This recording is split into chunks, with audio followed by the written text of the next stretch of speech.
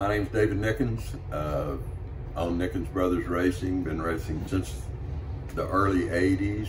Uh, retired for a long time, ran pro stock, and decided to come back out here and race again. I love Comp Eliminator, and it's always kind of been in my heart.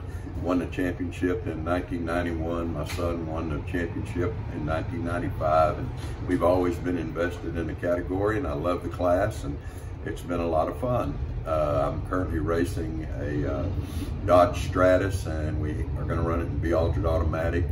Pretty excited about the weekend. I think it's going to be a lot of fun, and uh, this is our first time back, basically for about 18 or 20 years. And uh, a funny trailer story. I tell you, once we uh, we were using a smaller trailer and we were going to Louisiana and we had bought this real trick awning and put on the side of it. And as we, we were going down the highway, we were excited about getting to the races. And so when we got there, we went to put the awning up and we looked and it was gone. A couple hours later, some racer came up and said, hey, I was driving down the side of the road and I found this very brand new awning on the side of the road. Look what I did. I'm gonna put it on the side of my trailer. So we gave it to him.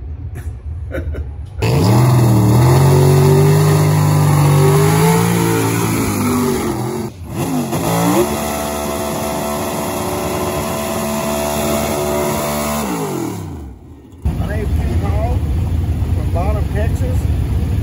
I've been got a 2005 Cavalier D Super Modified uh, constitutional hit better car.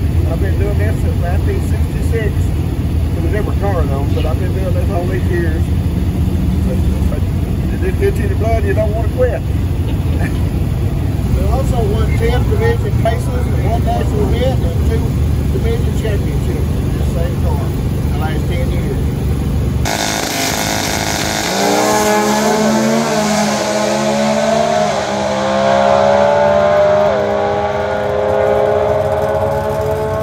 quick trailer story, okay? I leave St. Louis, 40 outside. Typical drag racer, let's look for the shortest way in the GPS, right? So obviously I'm going down farm roads, two lane roads, passing tractors, they're passing me. And I need fuel. And where am I gonna get fuel? I'm in a farm road. So I'm, God gives me a fuel station. I don't even think about it, I'm talking to my daughter on the phone, go to Pullman fuel station, don't realize I have to go uphill. It buries the trailer in the driveway. But now it's embedded in the driveway. It's not going forward, it's not going backwards. So I figure no problem, I'll kick in the other axle, I'll just drag it right up there. It just dug it in six inches into the driveway. Now it's buried. I'm in Arkansas, walk inside, excuse me ma'am, can you guide me to a wrecker? She goes, well, I know one guy wrecked my house. Okay, but I don't know if he can wreck your house. I said, no, no, I need a tow truck driver. Oh, no, there's a guy that comes by here once in a while. I don't know his name. Now I'm halfway in the highway and halfway in the truck stop. No one's getting by. No one's going to the truck stop. No one's going down the highway. As I walk outside, there's a wrecker sitting there with a 10 wheeler on the back of it, yelling at me, buddy, do you need some help? Just came out of nowhere. God said he needs help. He comes in the in the truck stop with the 10 wheeler on the back of his wrecker, does a jackknife, never unhooks a 10 wheeler. It says, let me hook up to you. Pulls the cable out, hooks onto me, and pulls me right up the driveway. And would not take a dollar from me. I said, no, no, I have a hundred bucks on me. The story's true, Yeah. by the way. I have a hundred bucks on me. I'm going to split it with you. I'm going to give you 50 so you take your girlfriend to lunch. And but that's how it worked out. And. I wasn't there honestly 10 minutes.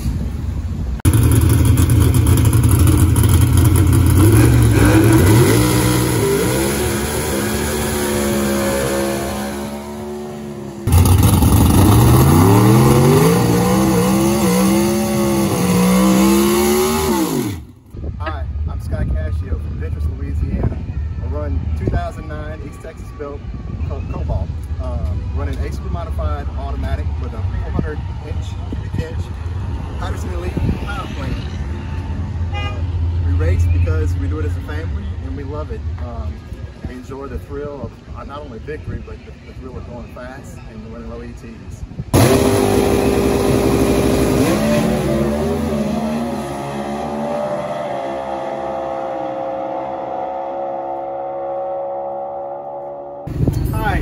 Hudson. I'm out of Dallas, Texas.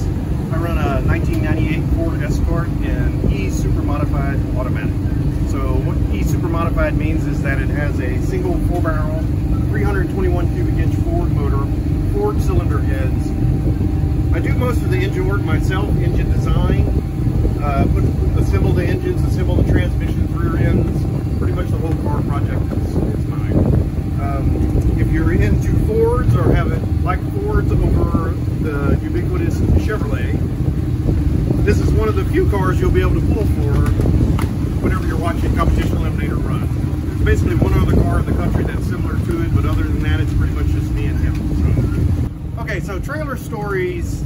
I have many, many, many trailer stories. So people, people that know me have heard of my trailer stories, and I think it comes from a genetic curse from my family because I've seen to deal with tires my entire life. But the worst story that I had was I was pulling, I had a dually, I had a 42 foot enclosed trailer. I was going to a race in Noble, Oklahoma. And I just passed up Ardmore, filled up with gas, ready to get to the track. I'm in the right lane, it's bright sun, it's early morning, about nine o'clock in the morning, and, and all of a sudden there's just a horrible bam, and it throws me back, hurts my neck, I thought the trailer had come off the hitch, so I look in the mirror. The trailer is still there on the hitch, and I look in my side mirror and I see this big white dually that's that's crossing over into the lanes, and then he hits the side of the trailer again. So, oh, so we pull over and stop. I get out, and it was a poor young guy. He worked for his mom in a construction company, so it was like a work truck that had a big, gigantic iron bumper on the front of it. And what had happened was he told me, he said he fell asleep and whenever he woke up, he saw the trailer. He jerked it to the left to try to avoid it, and it clipped the left rear of the trailer. So it pushed the whole trailer door in. Then he went forward and smashed into the side of the trailer. So I'm looking, and my only thought at the time is, can I get to the track? And once I get there, am I going to be able to get this car out of the trailer? How am I going to get, get the car out of the trailer? So uh, anyway, everything worked out. He actually had insurance, which was beneficial.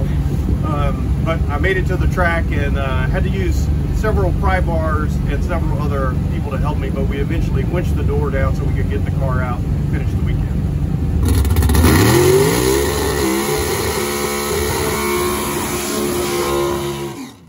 Okay, so what's your name? Robert Edgar. And where are you from? I'm from Granite Shoals, Texas. Can you tell me a little bit about your car? Yeah, this is a 2006 Chevy Cobalt built by Jerry Bickel. It was formerly owned by uh, the Cagnazzi bunch. Uh, Dave Connolly drove it pro stock back in 06. I've had it since about uh, 2010, so you can tell how long it's taken me to get it ready. What's the fun trailer story you have? Well, I guess the one that comes to mind is I put a new set of tires and wheels this trailer right here. And we took off to go to the races and we were driving through Marble Falls, Texas. And someone pulled up beside me and pointed and, and there was smoke coming out from behind my trailer. And I guess they had called the fire department, so we pulled over fire department, fire trucks, ambulances, police cars. They thought the trailer was on fire and I hadn't checked the backspace on those new wheels and I had one rubbing and it was uh, making a bunch of smoke, but it wasn't on fire.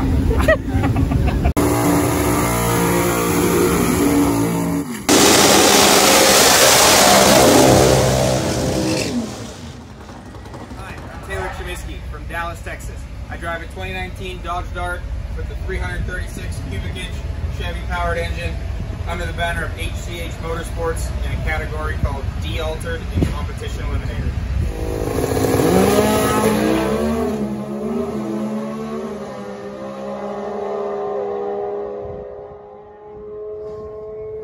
All right, I'm Craig from Louisiana, and running NHRA Competition Eliminator, and I'm running a Nostalgia Drag Show. Uh, let's see, one of the funniest stories I guess I got, is kind of funny now and wasn't funny at the time. Uh, we were on our way out of town, I believe it was Gainesville, and I had bought some really good gumbo from a restaurant called Empescados, and I stacked it all in the refrigerator. I was all happy with bringing some gumbo to the races. And uh, we were going around the interstate, and, and Jerry, my buddy, the thriller, was driving. and he made a left turn, and I didn't have the gumbo stacked in the refrigerator correctly. When he made that left turn, it slid out the refrigerator, opened the door, the gumbo and the milk all splattered all over the ground, and we were covered, the whole floor was covered with gumbo and milk. Well, Jerry wanted not to throw food away. I really think when I wasn't looking, he ate a little bit off the floor because he didn't want to throw it away. But we had to stop at the truck, truck stop in Baton Rouge and clean the entire floor, move the sofa, everything to get all that milk and gumbo off the floor. It's funny now, but at the time he wanted to strangle me because I didn't stack it in the refrigerator correctly. That's one of the funniest stories going down the road in the many, many years of comp eliminator racing that we.